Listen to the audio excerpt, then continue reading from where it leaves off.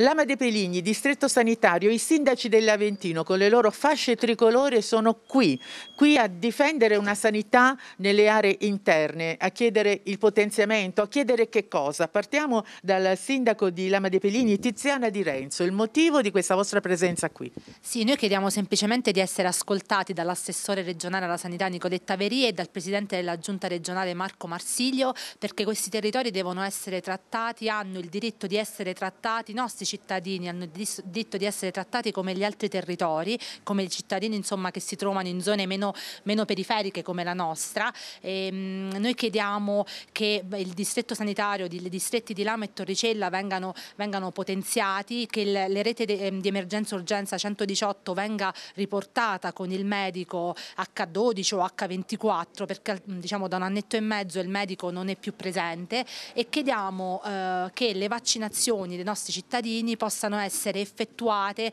nei centri vaccinali eh, preposti, quindi di Casoli, ma anche possibilmente nei centri distrettuali e per i cittadini ultra ottantenni, ultra nei vari comuni, perché come vedrete, come avete visto, insomma, venendo qui eh, non è semplice raggiungere i nostri territori, quindi i nostri cittadini, soprattutto quelli più anziani che si trovano a dover spostarsi per fare delle vaccinazioni o per dei servizi di base, hanno più difficoltà di altri cittadini. Sentiamo la voce di qualche altro primo cittadino, lei di dov'è? Di quale comune? Taranta Peligna, noi chiediamo di essere trattati in maniera uguale, con uguale dignità rispetto a tutti gli altri territori, indipendentemente dalla consistenza demografica e soprattutto crediamo di venire messi in condizione di fare il nostro lavoro dignitosamente. Abbiamo già dato dimostrazione con i centri vaccinali per, eh, nel periodo peggiore dell'emergenza e per gli ultraottantenni chiediamo semplicemente che i nostri ultraottantenni, i nostri, i nostri fragili possano essere vaccinati nei nostri comuni con la nostra organizzazione ci mettiamo a disposizione eh, nella maniera più totale e assoluta. Per quanto riguarda il resto, come ha detto la, la collega di, di Lama, eh, c'è necessità di far funzionare i distretti e di ridarci quello che ci è stato tolto, primo tra tutti la medicalizzazione sulle ambulanze del 118. Claudio D'Emilio, sindaco di Palena. Eh, volevo aggiungere a quello che hanno detto i miei colleghi una cosa importantissima, un incontro al più presto affinché in queste zone dove il turismo veramente è l'anima principale da un punto di vista economico, fa sì che le persone possano rimanere in questi luoghi. Solo con una certezza di essere salvati come a Chieti fa sì che le persone rimangano in queste zone. Diversamente è una sfida persa, è brutto dirlo ma purtroppo è una cruda realtà. Velocemente? Sindaco di Civitella Messer Raimondo, Dorazio Danilo, ecco, chiediamo all'assessore Veri di essere ascoltati e di farci sapere cosa vogliono fare del piano sanitario regionale e della sanità territoriale in questi territori dopo diverse lettere e diverse richieste di incontri che noi abbiamo fatto.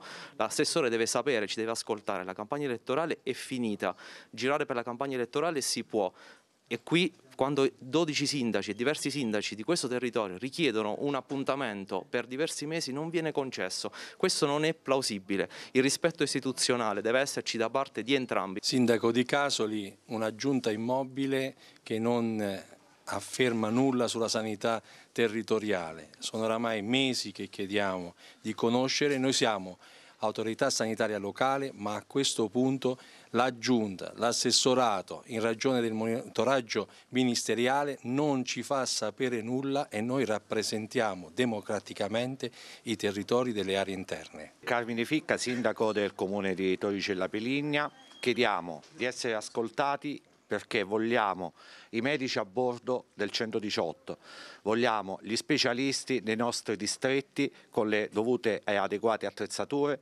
vogliamo, ehm, come dicevo prima, che i nostri territori siano equiparati a quelli delle grandi città. E concludiamo?